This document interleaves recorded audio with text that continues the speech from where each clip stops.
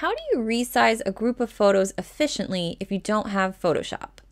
My name is Michelle and I'm going to show you how to resize images using a tool called Canva.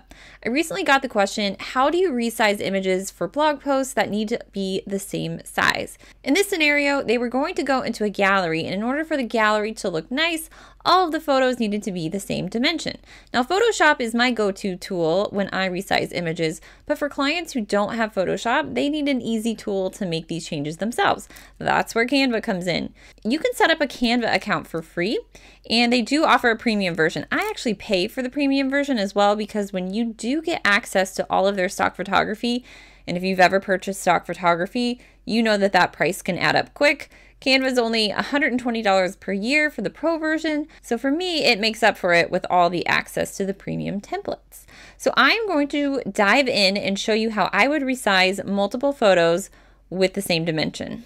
So I'm currently on the Canva dashboard and I am going to click this purple button up top to create a design. Now it asks me what I want to create. It says, do you want to do video, presentation? It has a lot of options here, but I don't really necessarily want all of those options. My go-to is just using the custom size. If I'm creating a blog post and I know that all of my images need to be the same, then I want to make sure that I'm setting those dimensions. So I would hit custom size and then I would give the dimensions that I want. So this is going to be in pixels, but I can always change that as well. gives me the option to do inches, millimeters, or centimeters. I'm going to stick with pixels. And for these images, I'm going to say 800 by 800. So this is going to make it a square, obviously. And the 800 just comes from I don't like having extremely large images on the web. You want to keep the file sizes to a pretty reasonable size. So 800 to me is usually a good size to have a photo. I probably wouldn't go beyond like 1200 wide. And the only time I ever go beyond that is if I'm doing an image that takes up the entire width of the page, which I might set at 1600 just to keep file size is small and able to load quickly. So 800 by 800 pixels, that's what I'm going to go with. I'm going to hit create new design. And now you can see that I am in the template editor. So I can go up here and you can see that it says untitled design. I can put in a title here. So I could put something like blog images and then clicking out will save that. And then you can always see that your changes are being saved and it'll have a little message up here to indicate that it is saved. So I want to actually import images for my blog post we'll see over here that there is a bunch of templates that you can use. And a lot of times when you hover over it, you can see if it's part of the free version or if it's, I think I saw one up here that as part of the pro. If it's got that little crown on top of it, that means you have to have the pro version to use that template. But it's actually pretty great if you are not a designer and you need to make something quickly, you can use one of these templates. You just pull it in and it will allow you to switch out the photos and put your own text in. So kind of nifty. I'm just going to hit Control Z to undo what I did. And then I will, I'll just show you a few more things. So we've got different elements that we can pull in. So whether that's different shapes or photos, I've got the ability to look through all of their gallery of images that they have, all of their stock photos that they offer. You can actually search for things and it will pull up relevant photos. I have the ability to insert different text styles. So if there's something over here I can see, I can just drag and drop it over. They've got different video templates and videos that you can use, which is really handy. And then if you have a pro version, you can actually upload your own logo so that if you're making things that are branded towards your company, then you have easy access to access those there. But for now, I'm going to go up to the third tab down and I'm going to go to uploads. And so in order to upload media, you could just click on this button and then you have the ability to import from either your device, which would be your computer, your Facebook account, a Google Drive, Instagram, or Dropbox. So many options to upload. I actually chose the device option earlier. And if you see today, I'm going to be using photos of my dog for this example. So we've got four different photos of Mr. Bentley. Now, hopefully no one will be harmed from cuteness overload, but I will show you how to resize these images. So all I would need to do is come over to the image I want to use, and then I would drag it over. Now I want to show you something. If I were to drag it to the middle of the canvas, you can see that it is not filling the canvas. So I'm going to hit undo here. If I drag to the very edge, it's going to snap and it's going to fill to the canvas.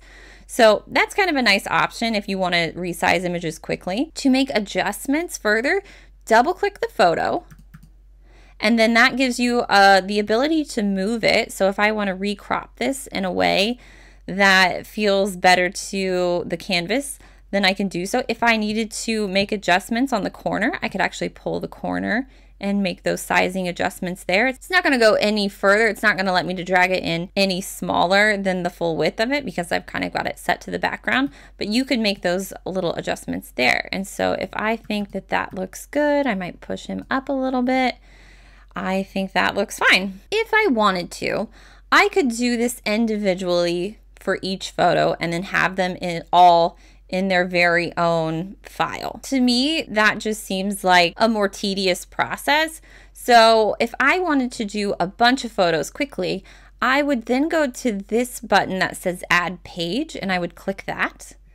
And then I would take my next photo and then I would drag this in and reposition that slightly. That looks good. Maybe I'll make it a little bit bigger just so he fills the space more and then that feels weird to me. So this is just the designer and me going nuts. Okay, that looks good. Again, same process. Add page, I'm gonna snap. I think that's adorable and I'm gonna leave it. And then the final photo of, yes, him taking a nap in his favorite location. And I think that looks good too. So everything looks pretty good. So how do I get these images individually saved? All I need to do is come to this button that says download, and then I now have the option to select a file type. I could do PNGs. If I'm doing web images, I don't really love a PNG unless I need the transparency, just because PNGs tend to be a little bit bigger in file size. So if I click that drop down, I have the ability to export these as JPEGs. I could do PDFs. I could do a more high quality PDF. If you pay for the Pro, as you can see the little crown there, you could do SVGs, you can actually do MP4 videos, and then GIF images. So I'm going to choose JPEG because I like that one the best. You also have the ability to change the size of it. So right now it's one times the size. We can see that it's 800 by 800. If you wanted to export it bigger, you could. I would caution you to be very, very careful when you're doing that just because you do run the risk of pixelating the image if the image wasn't originally this large. So if you don't mind a blurry photo potentially you could do that but i would definitely make sure to just be cautious when you're doing that i i don't see a big benefit of of actually making it way bigger i think it's always a good practice to build at the size you intend it to be. And then I can adjust the quality. I would typically do anything from like 70 to 80. This is just going to affect the overall file size. So anything from that medium, you can see that little tag underneath there that says file size medium to I think 80 puts it up at large. That's just, you know, the overall file size. So when you're working with web images, you don't really want them to be big because that's just going to slow down your site. So something always to be mindful of. The next option down is to select the pages. Now it says pages, but it will individually export these. And I have the ability now to either export all four images if I wanted to, or if there was a specific one, let's say I had to come back later and readjust, you know, page number one, I could export that one by itself. But if I wanted to batch these really quickly, I could just hit all of them at once. Now, if I'm ready to go, they're all JPEGs and I think everything looks good, I'm just gonna hit the done button and that will mean that all of my pages are selected and then I can hit the download button. And it'll take just a moment and it's downloading all of those images. Gives me a pop-up saying that it was a success.